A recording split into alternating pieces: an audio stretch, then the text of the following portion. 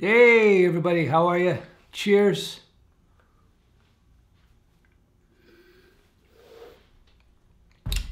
Okay, I'm going to answer a question that I got sent to me via email, and uh, we'll take it from there. Hold on a second. The question okay, is it okay that I'm not a professional in these technologies, HTML, CSS, JS, PHP, and can I make money? Eh, I don't feel like I'm good enough, blah, blah, blah, blah. This is somebody who is looking at WordPress development, but I think it goes to any type of development, I suppose. Not I suppose, it goes to any type of development. Here's the misconception that a lot of beginners at software development may have. They may think that they have to be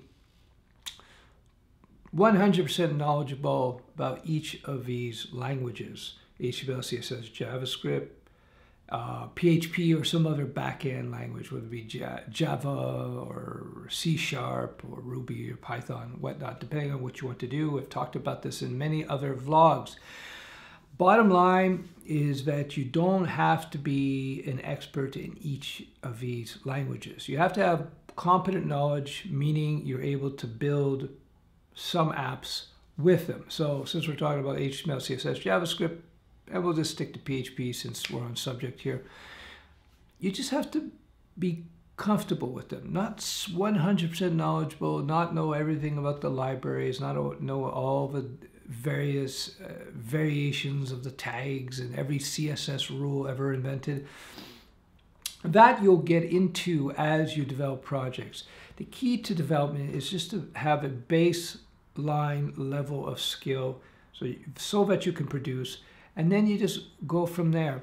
That's why i always emphasize the basics in my course my course is my course is not my course but my course is because the key to learning all this stuff again is always in having a firm understanding of the basic concepts and techniques. So you understand you know, functions and arrays and collection types, iteration.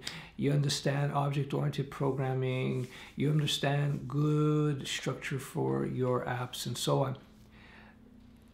What you're going to discover discover as you get into app development or WordPress professional development, if we're talking about that, is that you're going to always be not always, but you're going to be learning new things along the way.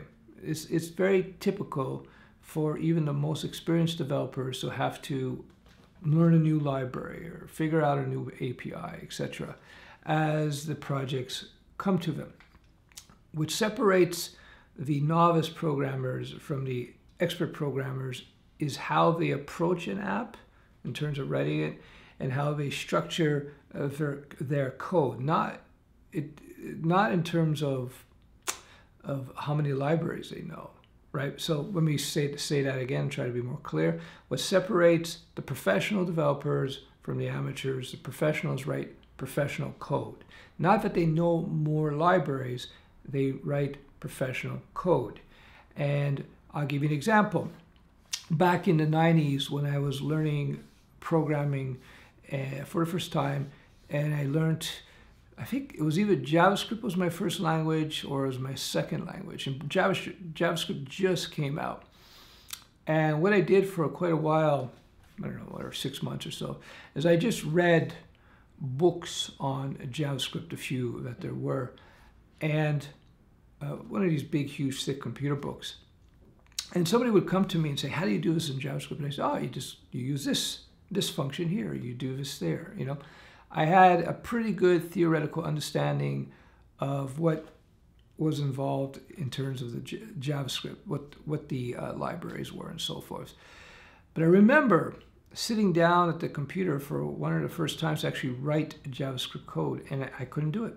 Even though I knew all these libraries, and oh, if you want to do this, you just go here, uh, but I couldn't write code because I didn't write code.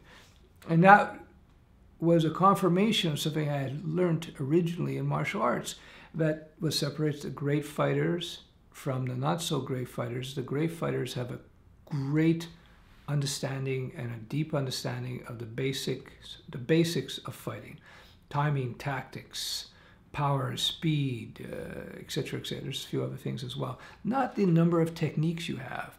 What you see in martial arts, you got these people who know like hundreds of hundreds of techniques, dozens of forms, but they couldn't fight their way out of a paper bag. A small little kitten would give them a hard time.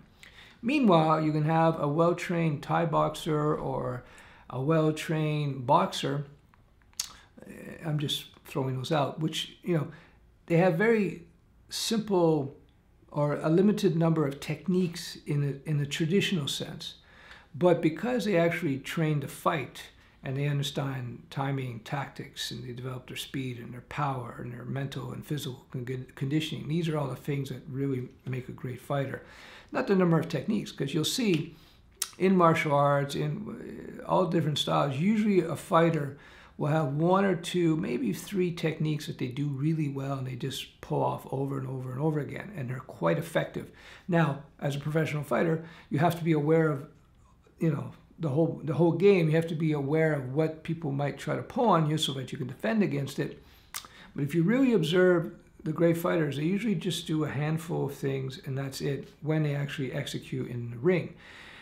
Software development is similar in the sense where, the, again, you can take a great and an advanced programmer and put them in any programming environment, any framework, even old stuff. Put them on old Java servlets and Pojos, and they'll produce a good app even though it's a very old technology versus a noob who jumps into cutting edge Node.js and they'll produce garbage code because they're just beginners. So back to the original question do you have to be a master of all these languages to be able to be a professional developer to go out there and make money? No.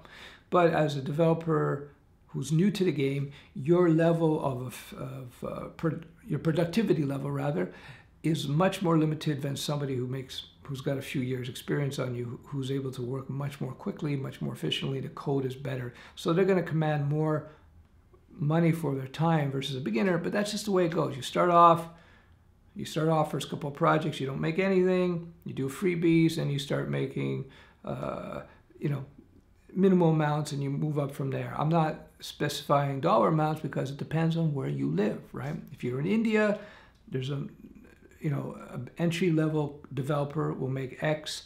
If you're in North America, an entry level developer will make Y, etc., etc., because of cost of living and so on, right?